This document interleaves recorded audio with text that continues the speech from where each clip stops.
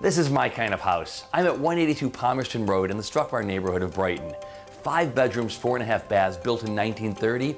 Everything here has been beautifully maintained and restored, including the leaded glass windows and the storm windows, brought back to their original condition. Let's start with the kitchen.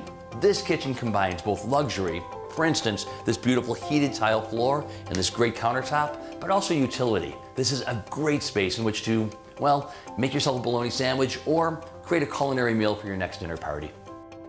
Let's start to check out some of the details that help to define the charm and character of this home.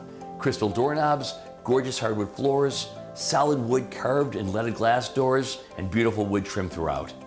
And what about this master bath?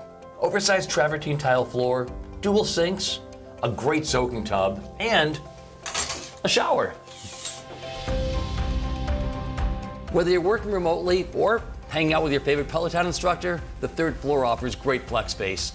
Come on, Tunde, let's go.